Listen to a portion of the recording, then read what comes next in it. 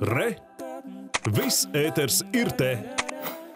Bet, ja esat rīdzinieks vai arī tikai iebraucis galvaspilsētā, iespējams ievērojāt pilsētvidai sekojošu ainu. Vējā plīvojošas smilgas, dālīju bumbas, plūstošas ziedu upes un paklājkas. Pilsētas atmosfērā ienes dabu un mieru. Lai noteiktu pilsētas skaistāko un arī videi atbilstošāko veikumu, Rīgas dārznieki gadu mērojas spēkiem vasaras puķu dobju parādē. Par to stāsta Judīta Čunga.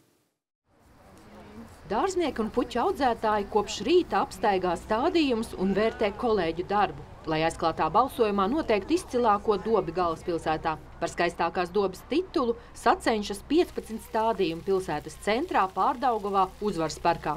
Katrā dobē ir kāds galvenais elements. Piemēram, apstādījumos pie prezidenta pils galvenā ir krāsa.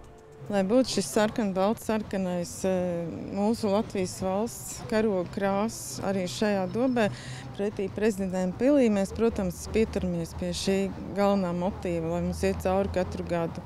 Galvaspilsētas dobēs aug 170 sugu un šķirņu augi, kopumā 52 tūkstoši stādu. Katru gadu mainās ne tikai šķirnes, bet arī stils un raksturs. Ja vienu gadu tā ir ornamentāla, tad nākamajā gadā brīvā stilā. Ja bija vēsos toņos, tad šogad siltos. Tendence ir um, tādi bordo sarkani toņi, uz kuru fona izceļās visas pārējās uh, puķas. Um, eksistē tāds brīvais stils, kas ienāk, var teikt, lauki ienāk pilsētā, kad ir graudzāles, kad ir tādas vieglas, tādas kā lauku puķes, ehinācija, rudbekija, kad cilvēki ienāk pilsētas parkā, dārzā, un viņš jutās atbrīvoti un viegli. Meklējam kaut ko jaunu, interesantu, ienesam, pamēģinam sākumā, skatāmies, kā aug. Te pašā laikā mēs nekad nevaram prognozēt laika apstākļus. Ja? Tas arī ietekmē gan augu augumu, gan kā tas augs gribēs justies. Mums dārzniekam jābūt tādam gaišraģim.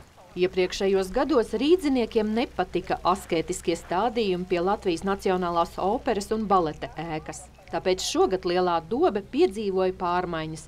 Atgriezies tā dēvētais ziedu paklājs. Bet par šīs vasaras skaistāko puķu dobi žūrija atzina uzvaras parka dobi, kas stiepjas gar uzvaras bulvāri un sloks ielu. Tagad dārznieki sāks plānot, kā varētu izskatīties Rīgas dobes nākamajā gadā, lai jau rudenī varētu pasūtīt audzētavām stādus. Judīta Čunka, Gaļina Solodovņikova, Igors Stāts, Latvijas televīzija.